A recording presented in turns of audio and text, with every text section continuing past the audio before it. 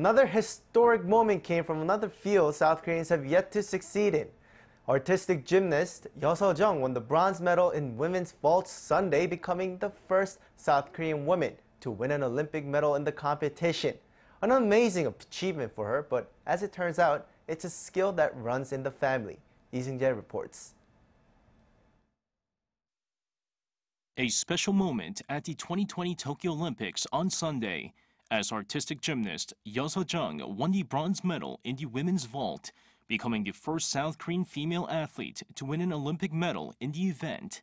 The 19-year-old scored an average of 14.733 after two attempts, thanks to a variation of one of her father's skills, the Yeo-2. Her father is Yeo Hong-chul, a legendary gymnast in his own right who won silver at the 1996 Atlanta Olympics in the men's vault competition. More than a quarter of a century later, Seo-jeong's bronze makes the Yeos the first father-daughter duo from South Korea to have won Olympic medals. The elder Yeo performed his Yeo-2 with a 900-degree twist at the end, while the younger Yeo completed a 720-degree twist.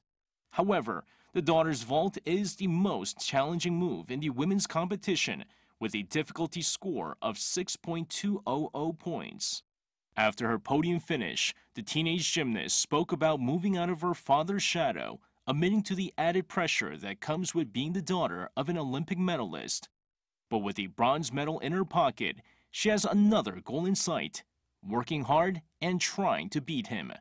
Of course, for that, she needs to win gold at the 2024 Paris Olympics. But fortunately for her, she has age on her side and plenty of time to perfect her moves in the meantime. Lee Seung-jae, Arirang News.